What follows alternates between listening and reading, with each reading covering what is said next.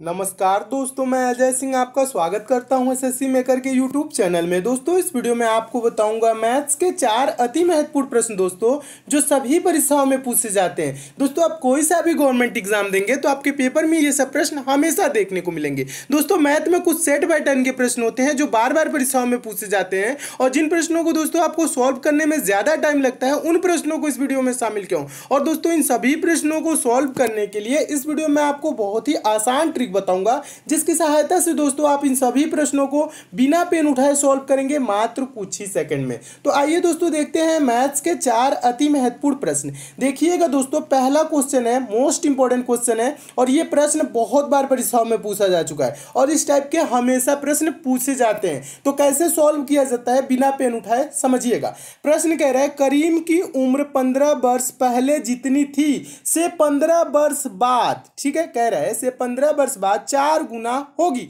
करीम की वर्तमान उम्र कितनी है? ये चीज़ पूछ रहा है, ठीक है? यानी कहने का मतलब है, प्रश्न समझ लीजिएगा। प्रश्न कह रहा है, करीम की उम्र पंद्रह वर्ष पहले जितनी थी, यानी कह रहा है, उसके बाद कह रहा है, पंद्रह वर्ष बाद क्या हो जाएगा? आपसे पंद्रह वर्ष बाद क्या हो जाएगा?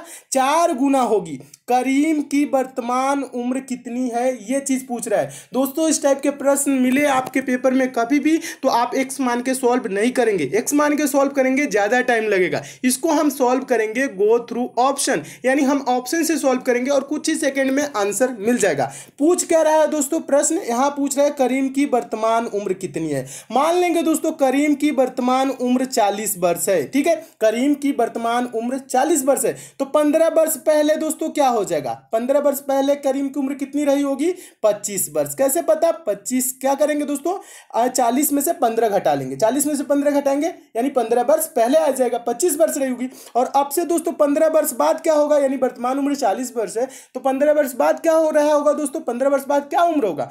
चालीस में पंद्रह जोड़ लेंगे तो क्या हो जाएगा? पचपन हो जाएगा। ठीक है? पचपन वर्ष। क्या दोस्तों ये पच्चीस का चार गुना है पचपन? पच्चीस का चार गुना पचपन है, नहीं है, पच्चीस का चार गुना सौ होता है। तो इसलिए दोस्तों क्या होगा? पहला ऑप्शन गलत हो जाएगा। पहला ऑप्शन गलत हो जाएगा। प्रश्न पढ़िएगा। करीम की वर्तमान उम्र पंद्रह वर्ष पहले जितनी थी, से पंद्रह वर्ष बाद चार गुना होगी, ये चीज़ कह रहा है। तो ये वाला ऑप्शन यहाँ पे क्या हो गया? गलत हो गया। फिर क्या करेंगे दोस्तों? दूसरा ऑप्शन चेक करेंगे। मान लेंगे वर्तमान उम्र करीम की क्या है दोस्तों? पच्चीस वर्ष है। तो पंद्रह वर्ष पहले कितनी रही होगी? पंद्रह वर्ष इसमें से घटा लेंगे, दस वर्ष, ठीक है? अब से दोस्तों क्या होगा? से पंद्रह वर्ष बाद ये कितनी उम्र हो जाएगी? पच्चीस से पंद्रह वर्ष बाद क्या करेंगे? पच्चीस में पंद्रह जोड़ लेंगे। ये क्या हो जाएगा दोस्तों? चालीस वर्ष। क्या ये दोस्तों दस का चार गुना है चालीस? दस का चार गुना है चालीस। तो आप बोलेंगे हाँ दस चौको चालीस। ये वाला ऑप्शन क्या हो जाएगा? सही हो जाएगा। तो मैं उम्मीद करता हूँ दोस्तों, आप इस प्रश्न को बहुत ही अच्छे तरीके से समझ गए होंगे। इसे दोस्तों, आप बिना पेन उठाए भी सॉल्व कर सकते हैं। ये तो आपको समझाने के लिए इतना किया हूँ। आप अगर जो आप प्रैक्टिस में आ जाएँगे प्रैक्टिस करने लगेंगे तो क्वेश्चन देखेंगे, तुरंत आंसर टिक कर देंगे। ठीक है? देखिए, एक बार और समझा देता हूँ। देखिएगा, ये जो 25 वर्ष है, इसी को लेके समझा देता हूँ। देखिएगा, करीम की उम्र 15 वर्ष पहले जितनी थी, से 15 वर्ष बाद चार गुना होगी। करीम की वर्तमान उम्र कितनी है? तो मान लिए दोस्तों, करीम की वर्तमान उम्र 25 वर्ष है तो 15 वर्ष पहले क्या रहा होगा दोस्तों? 10 वर्ष रहा होगा, और 15 वर्ष बाद क्या होगा दोस्तों? ये 25 में 15 जोड़ेंगे 40 और यहाँ कह रहा है, पंद्रह वर्ष बाद क्या हो जाएगा दोस्तों? चार गुना होगी। यहाँ पे कह रहा है ना पहले जितनी थी, पंद्रह वर्ष पहले, पंद्रह वर्ष बाद क्या हो जाएगा? चार गुना। तो दस का क्या है दोस्तों? चार गुना चालीस है? हाँ है। तो यही ऑप्शन क्या हो गया? सही हो गया। इस टाइप के दोस्तों, प्रश्न है तो आप ऐसे सॉल्व कीजिएगा। और किसी भी परीक्षा में दोस्तों, ये प्रश्न पूछा जाए तो आप बिना एक्स माने ही सॉल्व करिए। कुछ ही सेकंड में आंसर दे लेंगे। नेक्स्ट क्वेश्चन देखिएगा दोस्तों। अगला क्वेश्चन है, दूसरा क्वेश्चन दूसरा क्वेश्चन भी मोस्ट इंपॉर्टेंट है। हमेशा दोस्तों, ये परीक्षा भी पेपर में पूछा जाता है, ठीक है? ये प्रश्न क्या है? सभी परीक्षाओं में पूछे जाते हैं, ठीक है? देखिएगा, प्रश्न क्या कह रहा है, समझिएगा। प्रश्न कह रहा है एक दुकानदार कुल माल के आधे को 40 परसेंट के लाभ पर तथा शेष को क्रय मूल्य पर बेचता है। बहुत ही इंपॉर्टेंट क्वेश्चन है। पूरे सौदे में दुकानदार द्वारा अर्जित लाभ प्रतिशत ज्ञात कीजिए। ये चीज़ कह रहा है ना? देखिएगा, इस क्वेश्चन को कैसे सॉल्व करेंगे? पहले प्रश्न को थोड़ा सा समझ लीजिए, क्योंकि बहुत ही इंपॉर्टेंट क्वेश्चन है। प्रश्न कह रहा है, एक दुकानदार कुल माल के आधे को चालीस परसेंट के लाभ पर तथा शेष को क्रय मूल्य पर बेचता है। यानी आधे माल को चालीस परसेंट पे और शेष को क्रय मूल्य पर मतलब क्या? जितने में खरीदा है, उतने में बेच देता है, ठीक है? कह रहा है, पूरे सौदे में दुकानदार द्वारा अर्जित लाभ प्रतिशत ज्ञात कीजिए। यानी पूरे सौदे में दुकानदार को कितने प्रतिशत का लाभ हुआ? तो दोस्तों, इसको सॉल्व कैसे किया जाता है? देखिए, मान लेंगे दोस्तों, इन्होंने दुकानदार जो है, वो सौ माल खरीदा। कितने रुपए में दोस्तों खरीदा? सौ रुपए में खरीदा।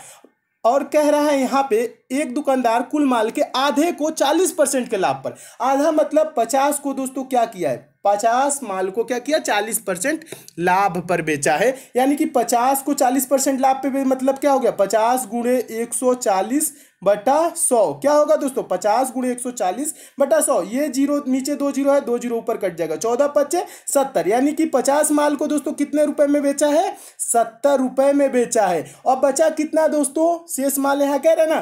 देखिए आधे माल को चालीस परसेंट तथा शेष को क्रय मूल्य पर बेचा है। यानी सौ माल सौ रुपए में खरीदा है। और बचा कितना दोस्तों? पचास माल। पचास माल को इन्होंने कितने में बेचा? पचास रुपए में बेचा, ठीक है? तो पूरे कितने में ये बेचा? सत्तर रुपए यहाँ पे बेचा, बीस परसेंट, जो चालीस परसेंट लाभ पे रहा। चालीस परसेंट लाभ को कितने में बेचा दोस्तों? सत्तर रुपए में और पचास माल को पचास रुपए, यानी क्रय मूल्य पे ही बेच दिया। पचास में खरीदा, पचास में बेच दिया आधे माल को। तो टोटल ये कितने रुपए में बेचा दोस्तों? पचास और सत्तर जोड़ लेंगे। एक एक सौ बीस रुपए में बेचा। और माल कितने रुपए का था? सौ रुपए का था। सौ रुपए का था और एक सौ बीस में बेचा। तो कितने परसेंट का लाभ हुआ? सौ पे एक सौ बीस। यानी कि सौ पे, दोस्तों, क्या हो रहा है? सौ रुपए को खरीदा, एक सौ बीस में बेच दिया। तो सौ रुपए पे बीस रुपए का लाभ हुआ, यानी कि बीस परसेंट के लाभ पर बेचा। यानी उसे पूरे व्यापार में कितने परसेंट लाभ हुआ दोस्तों?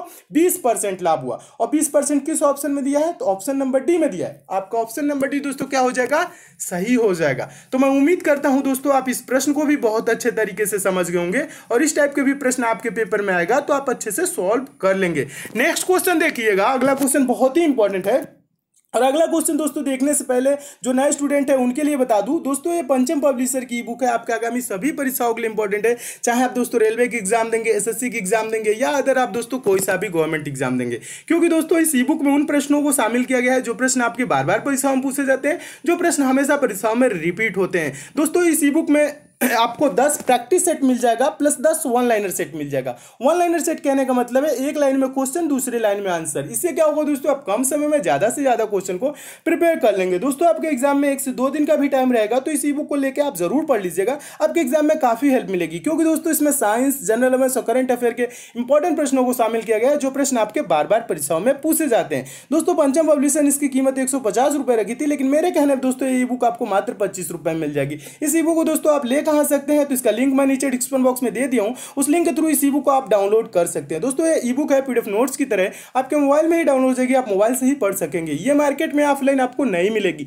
अगर जो दोस्तों आपको डाउनलोडिंग या पेमेंट से किसी प्रकार की समस्या होती है तो दोस्तों पंचम पब्लिशर का कस्टमर केयर नंबर दिया गया है। इस नंबर पर आप कॉल करके बात भी कर सकते हैं। इस ई बुक को दोस्तों मैं खुद देखा हूँ। इसमें जो प्रश्न दिए गए हैं, बहुत ही इंपॉर्टेंट दिए गए हैं, जो बार बार एग्ज़ाम में पूछे जाते हैं। इसलिए दोस्तों एग्ज़ाम से पहले पहले इस ई बुक को एक बार लेके आप ज़रूर पढ़ लीजिएगा। तो आइए दोस्तों देखते हैं अगला क्वेश्चन देखिएगा दोस्तों, तीसरा क्वेश्चन है, तीसरा क्वेश्चन मोस्ट इंपॉर्टेंट है और रेलवे ग्रुप डी में दोस्तों ये 10 से 20 बार करीब पूछा गया होगा। 20 बार से तो कम नहीं पूछा गया होगा। और रेलवे ग्रुप डी में बहुत बार रिपीट किया है एनटीपीसी में भी रिपीट किया है। आप बैक ईयर के पेपर देखेंगे तो उसमें ये क्वेश्चन आपको बहुत बार देखने को मिलेगा। देखिए, ये क्वेश्चन सभी परीक्षाओं में भी पूछे जाते हैं। देखिए क्वेश्चन है ए तथा बी किसी कार्य को 16 दिन में पूरा करते हैं, जबकि ए अकेला उसी कार्य को 24 दिनों में पूरा करता है। अकेला बी उस कार्य को कितने दिनों में पूरा करेगा?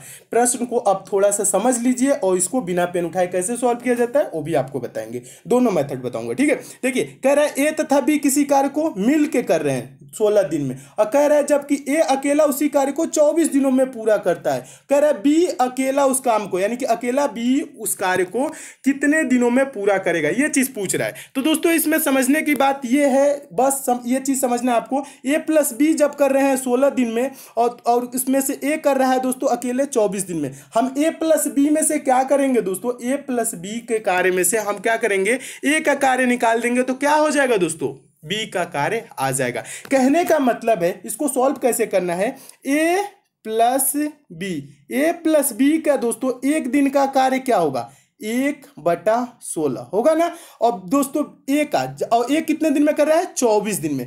ए का दोस्तों ए का एक दिन का कार्य क्या होगा दोस्तों? एक बटा चौबीस, तभी तो चौबीस दिन में पूरा काम करेगा ना, एक दिन का कार्य। तो क्या करेंगे दोस्तों, हम ए प्लस बी में से ए को माइनस कर देंगे तो क्या आ जाएगा? बी का कार्य आ जाएगा, ठीक है? तो देखिए, एक बटा सोलह ए प्लस बी हो गया ये माइनस कर लेंगे क्या दोस्तों? ए का, एक बटा चौबीस, ये माइनस कर लेंगे। अब देखिए, इसको सॉल्व करने का बहुत ही आसान तरीका। क्या करेंगे दोस्तों आप?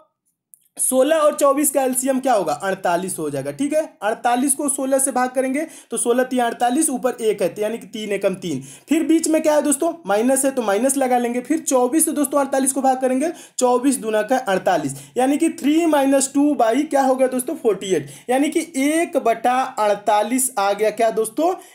बी का एक दिन का कार्य आया। तो बी पूरा कार्य करने में दोस्तों कितना टाइम लेगा? इसी को जस्ट उल्टा कर देंगे। एक बटा अड़तालीस को अड़तालीस बटा एक। यानी कि अड़तालीस दिन में दोस्तों बी पूरा कार्य कर लेगा। यानी कि अकेले बी कितने दिन में उस कार्य को कर लेगा? अड़तालीस दिन में कर लेगा। अड़तालीस किस ऑप्शन में दिया है? तो ऑप्शन नंबर बी में दिया है। तो आपका ऑप्शन नंबर बी दोस्तों क्या हो जाएगा?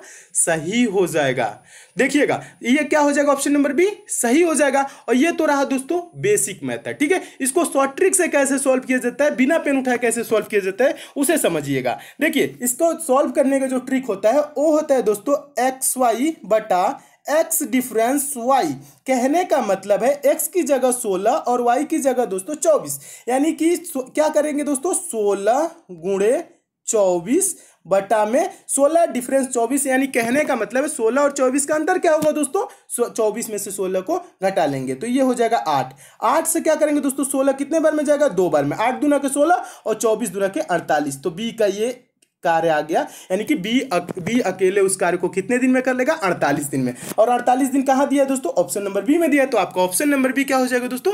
सही हो जाएगा। अगर जो दोस्तों क्वेश्चन इस टाइप का रहता ए किसी कार्य को सोलह दिन में बी उसी कार्य को चौबीस दिन में पूरा करता है तो ए और बी दोनों मिलकर उस कार्य को कितने दिन में करेंगे? तो उसके लिए दोस्तों शॉर्ट ट्रिक का होता है? एक्स वाई बटा एक्स प्लस वाई होता है ठीक है? और जे इसमें जब अंतर पूछ ले दोस्तों ए प्लस बी का दे दे और ए का दे दे और इसमें बी का पूछ ले तब क्या करेंगे करेंगे दोस्तों, ये डिफरेंस नीचे लिखेंगे, ठीक है? और प्लस वाला जो होता है दोस्तों, ये इतने दिन में कर रहा है बी इतने दिन में दोनों मिलके तो नीचे क्या रखते हैं दोस्तों, यहाँ डिफरेंस नहीं एक्स प्लस वाई रखते हैं, ठीक है? बस यही आपको ध्यान देना है। तो मैं उम्मीद करता हूँ दोस्तों, आप इस प्रश्न को बहुत ही अच्छे तरीके से समझ गए और इस टाइप के प्रश्न आपके पेपर में आएगा तो आप अच्छे से सॉल्व कर लेंगे। नेक्स्ट क्वेश्चन देखिएगा दोस्तों, चौथा क्वेश्चन चौथा क्वेश्चन बहुत ही इंपॉर्टेंट है, और हमेशा दोस्तों ये प्रश्न परीक्षाओं में पूछा जाता है। और ज़्यादातर स्टूडेंट दोस्तों इस प्रश्न को छोड़ देते हैं, क्योंकि समझते हैं सॉल्व करने में प्रॉब्लम होती है। कहाँ पे प्रॉब्लम होती है? कैसे सॉल्व करते हैं? आपको प्रॉब्लम होती है? मैं बता रहा हूँ। देखिए क्वेश्चन क्या कह रहे हैं? क्वेश्चन पढ़िए। यदि एक्स बटे चौबीस बराबर बहत्तर बटे अंडर रूट एक्स है तो एक्स का मान है। एक्स की वैल्यू ज़्यादातर स्टूडेंट कैसे निकालते हैं, मैं आपको बता रहा हूँ, और कैसे गलतियाँ करते हैं। देखिए, क्या करते हैं? वो डायरेक्ट इसमें तिरियक गुणा कर लेते हैं, यानी तिरियक मल्टीप्लाई करते हैं। कैसे? तो एक्स में एक्स से गुणा कर एक्स में अंडर रूट एक्स से करेंगे तो एक्स अंडर रूट ये एक्स बराबर ये क्या हो जाएगा दोस्तों? बहत्तर गुणे चौबीस हो जाएगा, ठीक है? अभी बहत्तर गुणे चौबीस करते हैं, फिर इसका क्या करते हैं दोस्तों? फैक्टर करेंगे, उसके बाद इसकी वैल्यू निकालेंगे। और इतना करेंगे दोस्तों इसमें चार से पाँच मिनट लग जाएगा आपको सॉल्व करने में, ठीक है? इतना आपको नहीं करना है। इसको आप बिना पेन उठाए भी सॉल्व कर सकते हैं। कैसे? तो ऑप्शन से सॉल्व करेंगे। मेथड का नाम है गो थ्रू ऑप्शन चलिए हम ऑप्शन से सॉल्व करेंगे। हम मान लेंगे दोस्तों एक्स बराबर है चौसठ। तो यहाँ पे हम चौसठ रखेंगे। तो ये क्या हो जाएगा दोस्तों? चौसठ बटा चौबीस हो जाएगा। और बराबर ये क्या हो जाएगा दोस्तों? बहत्तर बटा अंडर रूट ये हो जाएगा क्या? अंडर रूट क्या हो जाएगा? चौसठ हो जाएगा। एक्स की जगह चौसठ रखेंगे तो अंडर रूट चौसठ की वैल्यू क्या होगी दोस्तों? आठ होगा। और आठ से बहत्तर कितने बार में जाएगा? नौ बार में। क्या चौबीस से चौसठ नौ बार में कटेगा? नहीं कटेगा। तो इसलिए ये वाला पहला वाला ऑप्शन क्या हो जाएगा? गलत हो जाएगा। ठीक है? पहला वाला ऑप्शन गलत हो जाएगा। फिर क्या करेंगे? दूसरा वाला ऑप्शन चेक करेंगे। मान लेंगे दोस्तों, x बराबर 144 ठीक है? तो ये 144 रखेंगे, x की जगह 144 बटा में क्या हो गया दोस्तों? 24 हो गया। फिर बराबर ये बहत्तर बटा अंडर रूट क्या होगा जाएगा दोस्तों? एक सौ चौवालीस हो जाएगा। अंडर रूट एक सौ चौवालीस का मतलब दोस्तों क्या होता है? बारह, ठीक है? तो बारह छक्के क्या हो जाएगा दोस्तों? बहत्तर हो जाएगा और ये चौबीस छक्के क्या हो जाएगा दोस्तों? एक सौ चौवालीस हो जाएगा। यानी क्या है दोस्तों? सिक्स इजक्वल टू सिक्स यानी कंडीशन जो है दोस्तों, ये जो आपका समीकरण है सेटिस्फाइड हो रहा है। यानी कि एक्स की वैल्यू दोस्तों क्या हो जाएगी? एक सौ चौवालीस हो जाएगी। तो ऑप्शन नंबर कौन सा सही हो जाएगा? बी सही हो जाएगा। तो मैं उम्मीद करता हूँ दोस्तों, आप इस प्रश्न को भी बहुत अच्छे तरीके से समझ गए होंगे। और इस टाइप के प्रश्न आएगा दोस्तों तो आप ऑप्शन से सॉल्व करेंगे और कुछ ही सेकंड में आंसर दे लेंगे। तो इस टाइप के प्रश्न आए तो ऐसे ही सॉल्व कीजिएगा। दोस्तों, इसमें और भी क्वेश्चन है, उसको मैं नेक्स्ट पार्ट में करा दूँगा। और दोस्तों, अगर आप मैथ में वीक है मैथ बेसिक से ज़ीरो लेवल से चैप्टर वाइज दोस्तों पढ़ना चाहते हैं तो दोस्तों आपके लिए एक चैनल बनाऊँ, जिसका लिंक नीचे डिस्क्रिप्शन बॉक्स में दे दिया हूँ। दोस्तों, आप उस चैनल पर जाकर चैनल को सब्सक्राइब कर लीजिए नोटिफिकेशन बेल को ऑन कर लीजिए, जहाँ पर दोस्तों मैं मैथ बेसिक से पढ़ा रहा हूँ ज़ीरो लेवल से पढ़ा रहा हूँ और चैप्टर वाइज पढ़ा रहा हूँ। कुछ दिनों में दोस्तों मैथ के जब सारी चैप्टर समाप्त हो जाएँगे। दोस्तों, आप भी मैथ के प्रश्नों को सेकंडों में सॉल्व करने लेंगे, वो भी बिना पेन उठाए। तो मैथ में आपको थोड़ी सी भी प्रॉब्लम होती है दोस्तों, इस चैनल पर ज़रूर जाए, जिसका लिंक नीचे डिस्क्रिप्शन बॉक्स में दे दिया हूँ। और ये सब दोस्तों, आपको प्रश्न अच्छे लगे हैं, समझ में आया है तो इस वीडियो को दोस्तों लाइक ज़रूर कीजिएगा। लाइक वाला सिंबल दोस्तों नीचे इस टाइप से बनाऊँगा यहाँ पे प्रेस कर दीजिएगा, और शेयर वाला सिंबल दोस्तों इस टाइप से बनाऊँगा यहाँ पे प्रेस करके फेसबुक व्हाट्सएप टेलीग्राम जितने भी दोस्तों आपके पास स्टडी ग्रुप उस ग्रुप में शेयर ज़रूर करिएगा दोस्तों। और जो दोस्त इस चैनल पर नए हैं, जिनको दोस्तों हमारे वीडियोस की डेली नोटिफिकेशन नहीं मिलती, नीचे दोस्तों रेड कलर का इस टाइप से सब्सक्राइब का बटन होगा दोस्तों, वहाँ पे आप क्लिक करके दोस्तों आप चैनल को सब्सक्राइब कर लीजिए और बगल में दोस्तों वेलाइकन आइकन का सिंबल बनेगा। दोस्तों, ये नोटिफिकेशन वेलाइकन आइकन होता है, इसे प्रेस करके ऑन कर लेंगे। तो ये इस टाइप से दिखने लगेगा। जब ये दोस्तों इस टाइप से दिखेगा तो आपको डेली सारे वीडियोज़ की नोटिफिकेशन यानी आप तक मैसेज जाएगा तो दोस्तों सब्सक्राइब और बेलाइकन पर प्रेस ज़रूर कीजिएगा। तो मिलते हैं दोस्तों अगले वीडियो में और भी इंपॉर्टेंट प्रश्नों के साथ। तब तक के लिए दोस्तों, धन्यवाद।